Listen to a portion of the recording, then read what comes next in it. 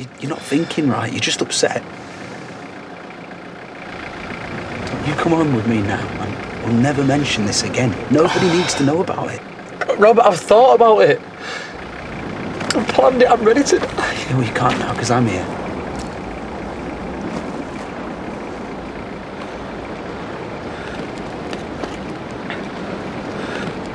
Whatever I've said about mum in the past, you know, killer. No? Like I say, I know you. I know you're a good bloke. You sure about that? I'd bet my life on it.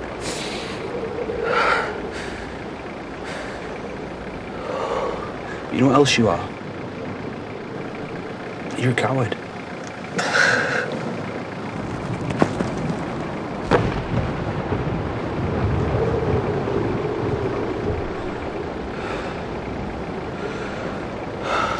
Did Katie know that, or did you manage to convince her you were strong?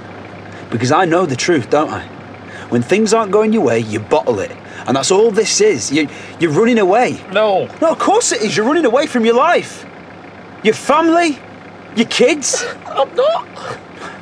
You want your son, Jack, the lad you named after my dad, my dad, one of the strongest, most fearless men I've ever known.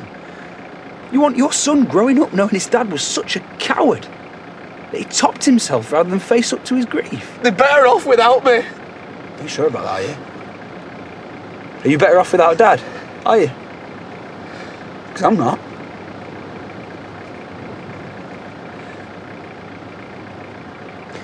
Your Jack's going to lose people in his life, isn't he?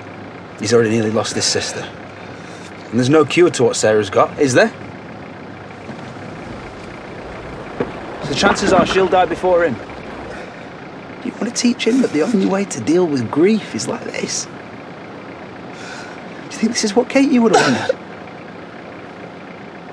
I can't live without her. yes, you can.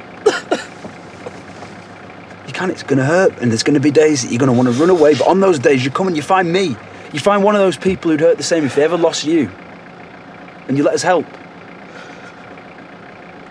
Please, mate. Come on.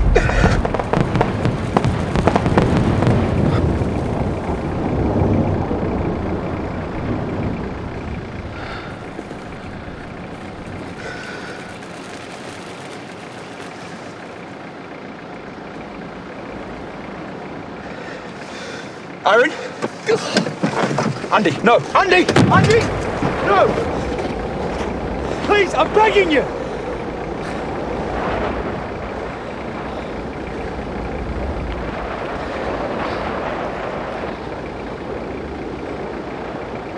How did you feel when you lost Jackson?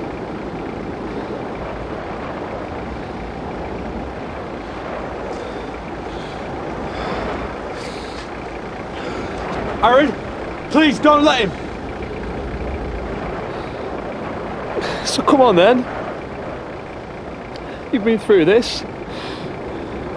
Surely you've got something to say, some reason why I shouldn't do it. This is your decision. You make it. But it wasn't with Katie, was it? Your decision. You couldn't have done anything. None of us could. Do you think Katie would have chosen to see you hurt like this? Well? Well, then come home. Don't run away. Live your life.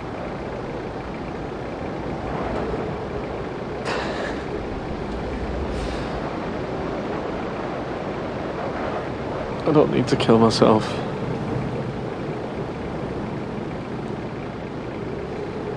I'm already dead. I died with.